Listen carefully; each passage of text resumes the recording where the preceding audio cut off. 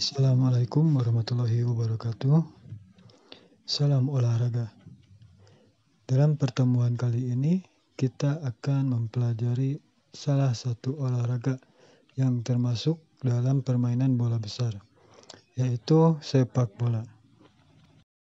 Julian Draxler with his first Champions League goal for his new club.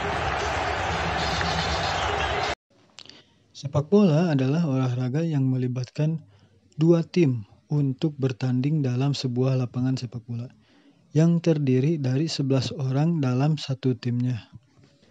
Dalam kesempatan kali ini, kita akan mempelajari tentang strategi sepak bola yang terdapat dua bagian utama, yaitu formasi permainan tim serta konsep-konsep dasar yang berkaitan dengan pola menyerang dan bertahan dalam sebuah tim. Formasi atau sistem dalam permainan sepak bola adalah cara penempatan ruang gerak dan pembagian tugas dari setiap pemain dengan posisi yang ditepati. Dalam sebuah sepak bola profesional, formasi atau strategi sangatlah menjadi kebutuhan utama dalam sebuah sepak bola sebelum pertandingan dimulai. Kita lihat sebagai contoh dalam sebuah pertandingan di Liga Indonesia antara Persibaya melawan Persib Bandung. Sebelum pertandingan dimulai, daftar line pemain up sudah ada berikut dengan formasi-formasi yang sudah ditentukan oleh sang pelatih. Kita bisa melihat di sini pelatih Persibaya memasang formasi 4-3-3 untuk timnya. Dan kita lihat untuk tim lawan Persib Bandung, eh, ini line up pemainnya.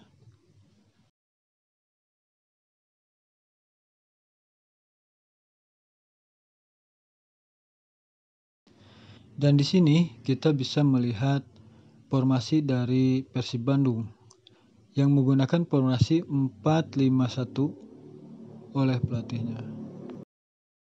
Itu adalah sebuah contoh dalam sebuah pertandingan, sebelum pertandingan dimulai, formasi, strategi, bahkan penempatan pemain sudah ditentukan oleh sang pelatih yang bertujuan untuk memenangkan pertandingan tersebut.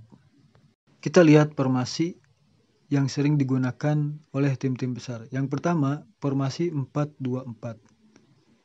Kedua, formasi 4-4-2. Ketiga, formasi 4-3-3. Dan keempat, formasi 532. Setelah membahas formasi, sekarang kita membahas tentang pola penyerangan sepak bola.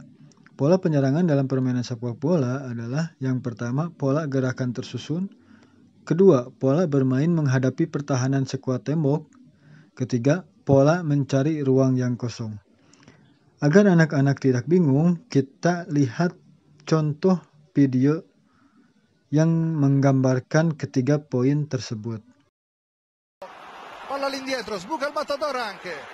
De Bruyne, prova il destro giro, rete, rete. Asensio tiene por delante ya solo la portería y dos centrales. Acompaña a Caicedo, aguanta, juega para Caicedo, perfecta Caicedo. Atención al disparo, no, va a poner el centro Luis Suárez, reclama un penalti que el colegiado no ve. El balón para Messi, Messi en el mano a mano y el...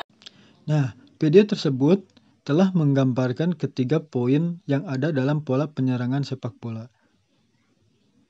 Setelah kita mengetahui tiga poin pola penyerangan sepak bola tersebut, kita harus mengetahui tujuan dari tiga poin pola penyerangan sepak bola tersebut adalah memasukkan bola ke gawang lawan sebanyak mungkin. Yang diperlukan dalam menyusun pola penyerangan adalah sebagai berikut. Pertama, adanya pemain yang bertugas sebagai pengatur serangan, adanya pemain yang bertugas sebagai pembantu serangan, adanya pemain yang bertugas sebagai penembak utama untuk mencetak gol, dan adanya pemain yang bertugas sebagai pemancing lawan yang bertahan agar teman segera dapat menerobos ke daerah pertahanan lawan. Setelah mempelajari tentang formasi, teknik, strategi dalam permainan sepak bola, Diharapkan kalian bisa mempraktikkan dan mengaplikasikannya dalam sebuah permainan sepak bola. Terima kasih. Assalamualaikum warahmatullahi wabarakatuh. Salam olahraga.